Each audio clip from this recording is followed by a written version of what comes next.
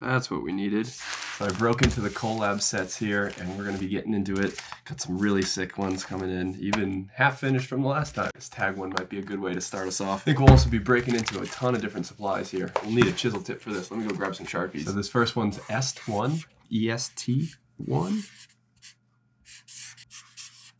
Got to double back on some of these lines. Looks like we need like a dark purple for this outline. Got a fresh juice. Sticker collabs have such a funny place for me in my kind of rhythm of making art. Years can sometimes go by and I haven't even done one. And then days like today, I want to sit down and do 10. I think I'll do 3D down to follow Check and Psycho a bit, especially the fat drift. Definitely got to hit it with the highlight. I wonder what paint marker I used for this fluorescent, because it does not like these Molotows. And I like Psycho did some blue tips, this minty color that could work well. Got Calypso Middle. I think this one will look sweet. That makes it pop so much. Maybe we run this character one next? What do we have here? Nice. The Real Blanco, 07, Vandal Scrum, and A6.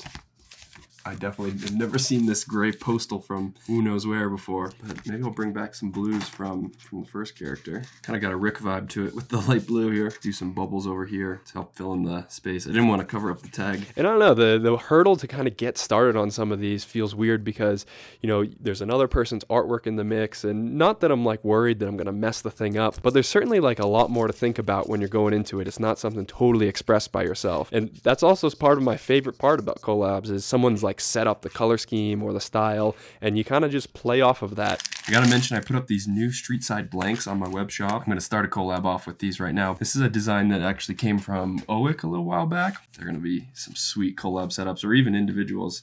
I love to just do a, a tag on the front of the door here gives just such a nice setting to it. So yeah, definitely go check these out. I'll have a bunch of them available.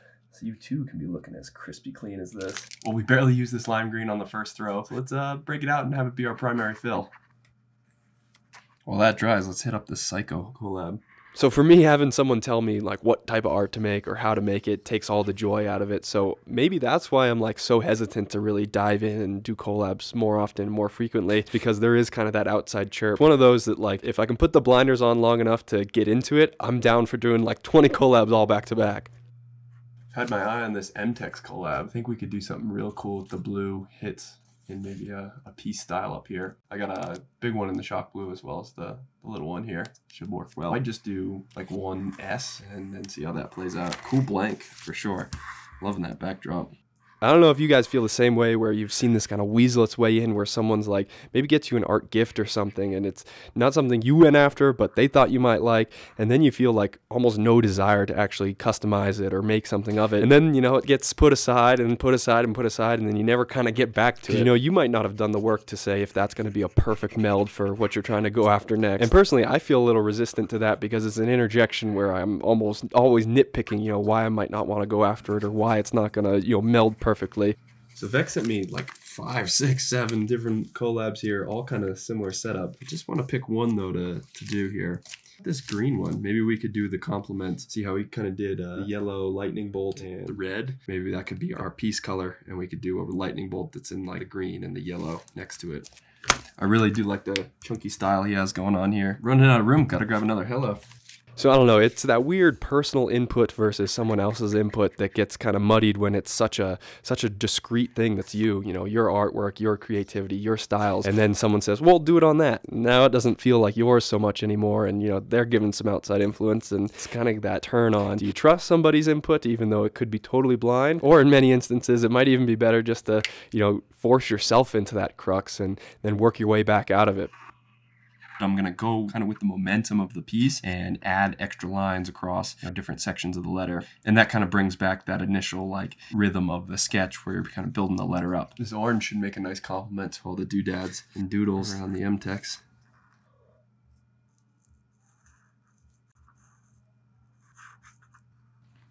You know, we got to have a holographic in the mix and taking those moments when you might first anticipate it as something you don't like, but give it a second, you know, maybe not a whole year by leaving collabs around, but give it a little bit and then revisit it. See if it is a good canvas to work off of and try something new on. But for me, I find if I'm willing to just go in almost blind and start working at what I know, maybe feel it out a little bit and mold my style into what I'm working on, that's when I really come up with some creative things. Getting a little bit of rhythm there, but then I can develop it further and find ways that my styles can complement this new piece. That's what we needed. Extra black. It was looking way too flat before this. I think I want to run a black outline around the whole thing. Really make it double pop. Kurt, I hope you're cool with that too. I love the orange touch just on the accent there. Vex got this itty bitty outline. I think I'm gonna have to use a Sharpie to get there. Let me know if you guys have that kind of turmoil about creative input from, you know, outside people or even collabs. It's just kind of that weird vibe that I get sometimes when it's about to start a piece or you're you're about to go after something totally new. There's a little bit of a hesitation there with with what you're familiar with, what you're comfortable with, and you know, kind of treading in new waters there. Well, I hope you enjoyed that session. We went so crazy on all these. Love the little throw sets here. And honestly, even the starter tag set, even though it was our warm up, worked out pretty well. Don't forget to check out the blanks I just dropped on my site for the storefronts. These are to go hot and great for your own collabs, even. Big shout out to Psycho and all the other amazing artists that sent these collabs my way. So fun to be able to get on a whole variety of them. If you enjoyed the video, definitely drop a like on it. I'll catch you on the next one. Stay up.